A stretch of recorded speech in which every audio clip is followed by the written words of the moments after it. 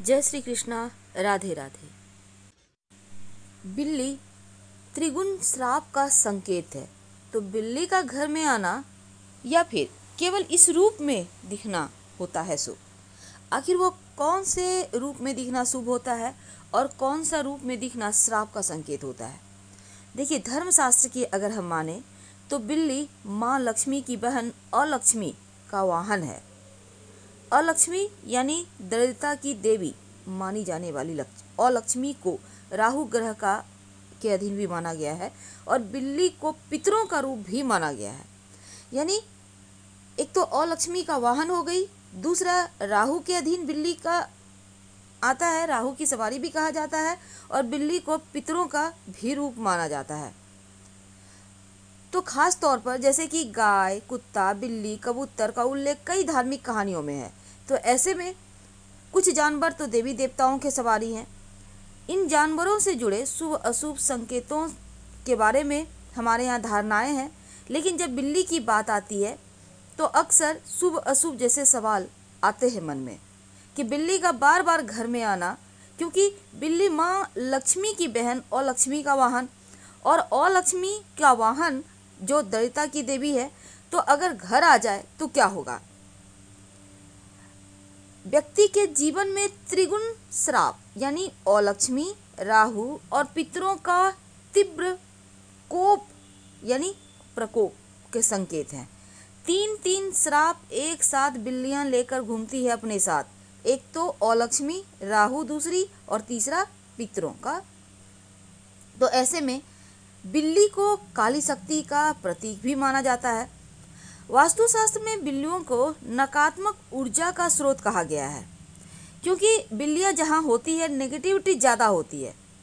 लेकिन ऐसा नहीं है कि बिल्ली से जुड़े सभी संकेत बुरे ही होते हैं, अच्छे भी होते हैं, शुभ भी होते हैं। कई बार शुभ संकेत ऐसे होते हैं कि घर में संपन्नता बढ़ा देता है। तो बिल्ली के शुभ, अशुभ संकेत क्या हैं? पहले हम अशुभ संकेत के बारे में समझते हैं। अगर हम नारद पुराण की माने तो बिल्ली के घर में बार बार आना अच्छा नहीं माना गया है। क्योंकि शास्त्र कहता है कि बिल्ली का घर में रखा दूध पी जाना या फिर उसमें मुँह मार देना धन हानि का ही संकेत है। आपके घर में दूध है, बिल्ली आके मुँह लगा देती है, पी जाती है, गिरा देती है, ये अच्छा नहीं माना जाता। अगर बिल्ली आपके घर में मल त्याग कर दे तो अनहोनी की संभावना बढ़ा देता है। तो बिल्ली का घर में मल त्याग करना अच्छा नहीं है। लेकिन इसके विपरीत, अगर हम दक्षिण भारतीय की परंपराओं को माने तो बिल्ली को शुभ माना जाता है, क्योंकि दक्षिणी सभ्यता की में बिल्ली को बुरी शक्तियों से व्यक्ति की रक्षा करने वाला बताया गया है। और इसके प्रतीक के तौर पर अगर हम कर्नाटक की भी बात करें तो बिल्ली का एक मंदिर भी है। यहाँ एक हज़ार वर्षों से भी पहले की एक परंपरा है कि बिल्ली की पूजा की जाती है। यहाँ बिल्ली को देवी मम गमा का अवतार माना जाता है। लेकिन अगर हम विदेशों की बात करें, चीन, जापान की तो यहाँ भी बिल्लियों को सुप्रतीक माना गया है। पेंगसुई में भी बिल्ली को घर में रखना अच्छा कहा गया है। माना जाता है कि अगर सफ़ेद बिल्ली आप पालें तो आपकी आर्थिक स्थितियाँ अच्छी हो जाती है। इसलिए पेंगसुई में विश्वास करने वाले लोग अपने घरों में सफ़ेद बिल्ली पालते हैं। लेकिन बिल्ली से जुड़े कुछ शुभ अशुभ संकेत होते हैं जो हर जगह माने जाते हैं। अब आप कहीं जा रहे हैं और बिल्ली रास्ता काट दे तो कई लोग अशुभ मानते हैं। लेकिन क्या आपको पता है, बिल्ली अगर दाहिने तरफ़ से बाएँ की ओर रास्ता काटे, यानी आपके दाहिने हाथ से बाईं ओर जाए, तब यह अशुभ होता है। और अगर बिल्ली केवल रास्ते में नज़र आ जाए या फिर किसी और दिशा से रास्ता काटती है या फिर आपके पीछे से गुजरती है तो ये अशुभ नहीं होता। आमतौर पर घर में एकदम से सफ़ेद बिल्ली आती है तो ये अच्छा माना जाता है, क्योंकि सफ़ेद बिल्ली अपने साथ शुभ समाचार लेकर आती है।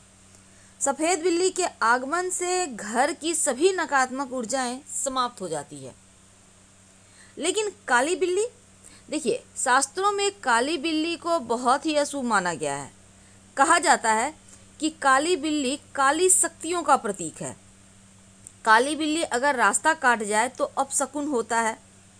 काली बिल्ली आपसे टकरा जाए या आप पर हमला करे तो यह व्यक्ति के जीवन में आने वाले संकट को बताता है, संकट आने का प्रतीक होता है।